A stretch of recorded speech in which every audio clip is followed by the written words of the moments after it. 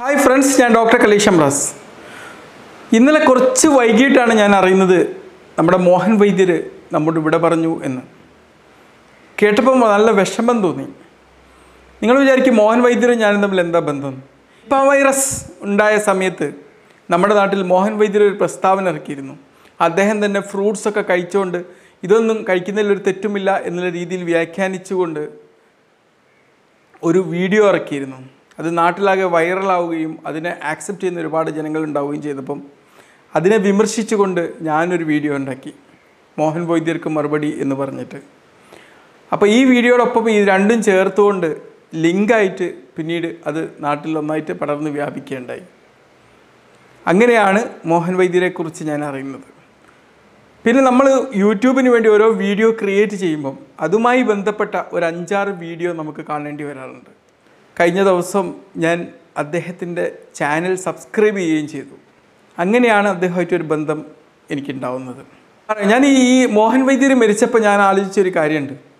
പണ്ട് ഒരു ഞാൻ പൂനൂർ ഹോസ്പിറ്റലിൽ വർക്ക് ചെയ്യുന്ന സമയത്ത് ആ നാട്ടിലെ ഒരു ആത്മീയ വൈദ്യൻ ഈ അദ്ദേഹവും ഞാൻ നല്ല ഫ്രണ്ട്സാണ് എന്നോട് എല്ലാ കാര്യങ്ങളും തുറന്നു പറയുന്ന ഒരു വൈദ്യനാണ്. ഈ വൈദ്യർ രാത്രി പന്ത്രണ്ട് മണിയാകുമ്പോഴാണ് കാണിക്കാൻ വരിക. അപ്പോൾ ഞാൻ ചോദിച്ചു നിങ്ങൾ എന്തിനാണ് ഈ രാത്രി വൈകി വരുന്നത്? അപ്പോൾ പറഞ്ഞു രാവിലെ ഞാൻ വരികയാണെങ്കിൽ അദ്ദേഹത്തിന്റെ അടുത്ത് ചികിത്സ തേടി വരുന്ന രോഗികളൊക്കെ വിചാരിക്കല്ലോ. എനിക്ക് എന്റെ അസുഖം തന്നെ മാറ്റാൻ പറ്റില്ലെങ്കിൽ പിന്നെ അവരെന്നെ വിശ്വസിക്കില്ലല്ലോ.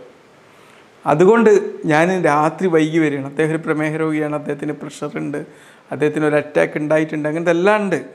അതുകൊണ്ടാണ് വരുന്നത്. ഞാൻ പറഞ്ഞു നിങ്ങളെന്തിനാ അങ്ങനെ പേടിക്കേണ്ട കാര്യമൊന്നുമില്ല. ഒരു ഡോക്ടർക്ക് ഒരു അസുഖം വന്നാൽ പോലും മറ്റൊരു ഡോക്ടറെ കാണിക്കണം എന്നുള്ളതാണ് ഇന്ന് നിൽക്കുന്ന നിയമം. അതും നമ്മൾ മെഡിക്കൽ വേർഡ്സ് ഒന്നും ഉപയോഗിക്കാതെ വേണം നമ്മൾ അവരോട് സംസാരിക്കാൻ എന്നാണ് ഈവൻ നമ്മളിപ്പോൾ ഒരു ഡോക്ടർ നമ്മളെ കാണിക്കാൻ വരികയാണെങ്കിൽ നമ്മുടെ ആ ഒരു കോൺഫിഡൻസ് പരിശോധിക്കുന്ന ഡോക്ടർക്ക് തന്നെ പലപ്പോഴും ഇല്ലാതായി പോകും. അത് നമ്മുടെ മൈൻഡിന്റെ ഒരു ട്രിക്കാണ് അപ്പം ഈ ഒരു പ്രതിഭാസം നമ്മുടെ നാട്ടിൽ ഇന്ന് വല്ലാതെ നിലനിൽക്കുന്നുണ്ട്. നമ്മളൊരു കാര്യത്തിന് വേണ്ടി വാദിക്കുമ്പം ആ കാര്യത്തിന് വിരുദ്ധമായത് ഒന്ന് ചെയ്യാൻ പ്രേരിപ്പിക്കാത്ത ഒരു ഈഗോ നമ്മുടെ ഉള്ളിൽ വളരും. എനിക്ക് തോന്നുന്നു മോഹൻ വൈദ്യർക്കുണ്ടായ മരണം പോലത്തെ മരണങ്ങൾ നമുക്ക് തീർച്ചയായിട്ടും തടയാൻ പറ്റുന്ന മരണങ്ങൾ തന്നെയാണ്. അദ്ദേഹത്തിന് പനിയുണ്ടായിരുന്നു. അദ്ദേഹത്തിന്റെ കോവിഡ് രോഗം അതിന്റെ ഒരു ക്രിട്ടിക്കൽ സ്റ്റേജ് അല്ല എ ആർ ഡി എസ് എന്നതിലേക്ക് പോലും പരിവർത്തനം ചെയ്യുന്നൊരവസ്ഥ ഉണ്ടായിട്ടുണ്ട്. പക്ഷേ ഇതൊക്കെ വകവെക്കാതെ അദ്ദേഹം വീണ്ടും എനിക്ക് കോവിഡാണ് ബാധിച്ചത് എന്ന് പോലും തിരിച്ചറിയാതെ അദ്ദേഹം അങ്ങ് ജീവിക്കുകയായിരുന്നു. ഒരുപക്ഷെ അദ്ദേഹത്തിനൊരു വിശ്വാസം ഉണ്ടായിരിക്കും.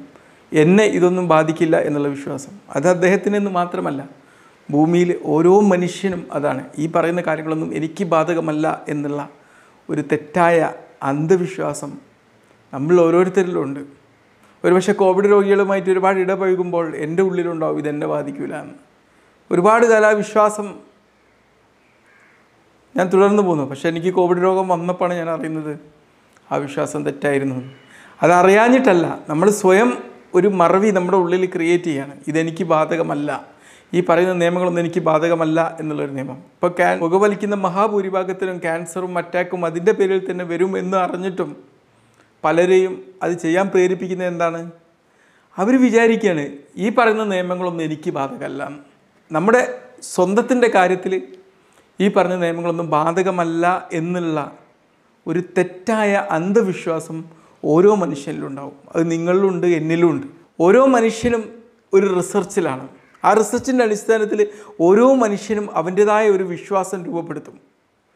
ഈ മോഹൻ വൈദ്യരൊക്കെ അതുപോലെ ഒരു വിശ്വാസം രൂപപ്പെടുത്തിയ വ്യക്തികളാണ്. അദ്ദേഹത്തിന് സ്വതസിദ്ധമായിട്ടുള്ള ചിന്തകളിലൂടെ അദ്ദേഹം അദ്ദേഹം അദ്ദേഹത്തിനുള്ളിൽ ഒരു വിശ്വാസം രൂപപ്പെടുത്തിയിട്ടുണ്ട്. കോവിഡ് നയന്റീൻ എന്ന് പറയുന്ന രോഗമല്ല നിപ്പ വൈറസ് എന്ന് പറയുന്ന രോഗമല്ല.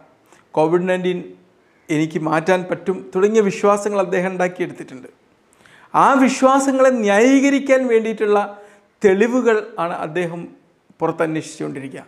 നമ്മൾ ഓരോരുത്തരും അങ്ങനെയാണ്. നമ്മൾ ചില കാര്യങ്ങൾ തെറ്റല്ല എന്നുള്ള ഒരു വിശ്വാസം ഉണ്ടാക്കുകയും ആ വിശ്വാസം ന്യായീകരിക്കാൻ വേണ്ടിയിട്ടുള്ള കാരണങ്ങൾ നമ്മൾ സമൂഹത്തിൽ അന്വേഷിക്കുകയും ചെയ്യും. കൺഫർമേറ്ററി ബയാസ് എന്നാണ് ഇതിന് സൈക്കോളജിയിൽ വിശേഷിപ്പിക്കുന്ന പേര്. അത് പിന്നീട് നമ്മളുള്ളിൽ വളരെ ശക്തമായിട്ടുള്ള വിശ്വാസമായി മാറുകയും നമ്മൾ എന്തൊന്നാണോ വിശ്വസിക്കുന്നത് അതിനെ ന്യായീകരിക്കാനും അതിൽ നമ്മൾ ഉറച്ചു വിശ്വസിപ്പിക്കാനുമുള്ള തെളിവുകൾ നമ്മുടെ നമ്മുടെ ചിന്തകളിലൂടെ നമ്മൾ തന്നെ കണ്ടെത്തും. പിന്നെ അത് വളരെ ഉറച്ച വിശ്വാസമായി പോകും. എവിഡൻസ് ബേസ്ഡായിട്ട് തെളിവുകളുടെ അടിസ്ഥാനത്തിൽ അതിനുള്ള ഒരുപാട് ചികിത്സകളും മറ്റും വന്നാലും അതിനെ എന്താക്കും? അവരുടെ തലച്ചോറിൽ ഉറച്ചു പോയൊരു വിശ്വാസം എന്താ ചെയ്യുക? അതൊന്നും അംഗീകരിക്കാൻ അവരെ സമ്മതിപ്പിക്കില്ല. മനസ്സിലായില്ലേ? അത് നമുക്ക് ഓരോരുത്തർക്കും വരാൻ സാധ്യതയുള്ള ഒരു കാര്യമാണ്. ഈ വാക്സിന്റെ കാര്യത്തിലൊക്കെ അതുപോലെ ഉണ്ട്.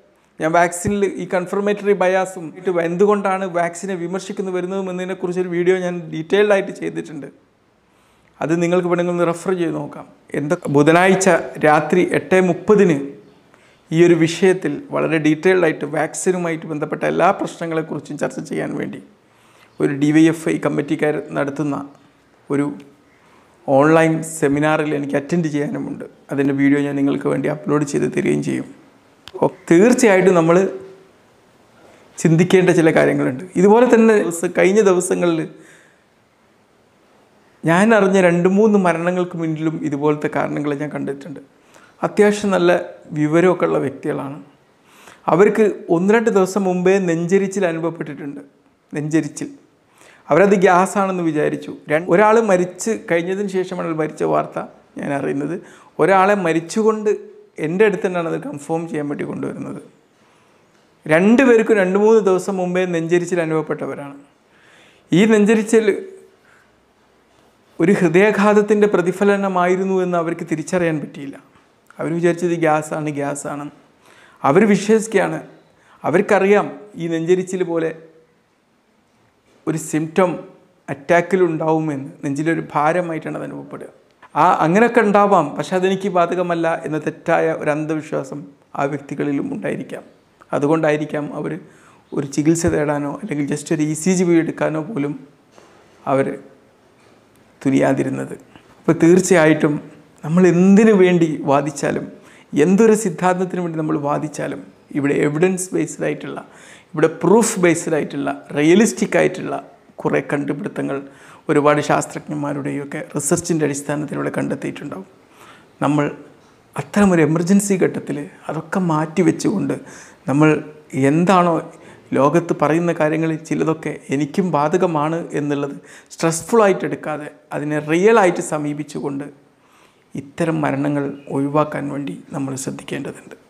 നമ്മൾ നമ്മളുടെ ചിന്തകളുടെയും നമ്മുടെ അന്വേഷണങ്ങളുടെയും അടിസ്ഥാനത്തിൽ നമ്മൾ ആയിട്ട് രൂപപ്പെടുത്തിയ ഒരുപാട് വിശ്വാസങ്ങളുണ്ടാവും. അത് നമ്മൾ എന്ന സയന്റിസ്റ്റ് മാത്രം കണ്ടെത്തിയതാണെന്ന് നമ്മൾ തിരിച്ചറിയണം. ലോകത്ത് നടക്കുന്ന റിസർച്ചുകൾക്കോ മറ്റോ ഒന്നും അതിലൊരു റോളില്ല. അത് നമ്മൾ സ്വയം കണ്ടെത്തിയതാണ്.